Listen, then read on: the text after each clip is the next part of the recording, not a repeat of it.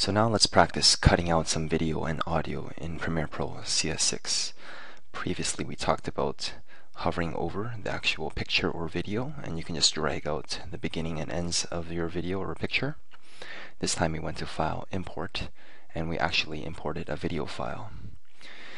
So what we can do here to actually cut out a certain part of video, say you don't want to see this certain kick here, is you scrub to it using the current time indicator and then notice how there is this nice uh, tool called the razor tool or you can press the, the letter C.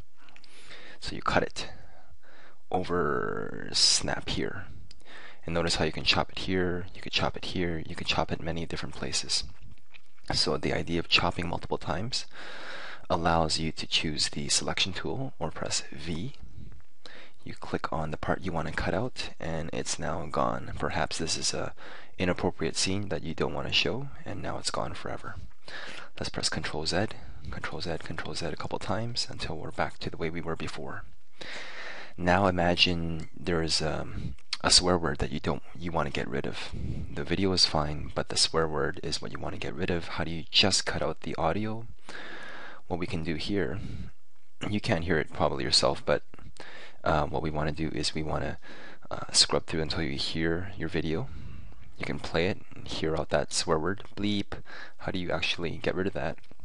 What we want to do here is we want to right click and we want to unlink the video one and the audio layers because right now uh, this uh, okay, you can drag the audio to a different layer uh, video 1 is right now linked up with audio 1 so if you want to unlink this you go right click unlink now that it's unlinked, you can, using the selection tool, click on the audio later and completely delete it.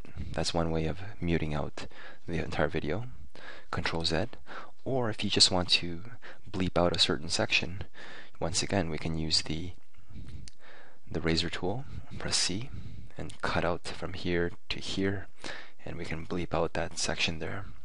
So we use the selection tool to click on a certain part and press delete and once again, if you want to relink, so if you want to relink uh, your uh, to uh, your video and your audio, you can just hold down the uh, Shift key to select multiple uh, things, right click, and you can relink it.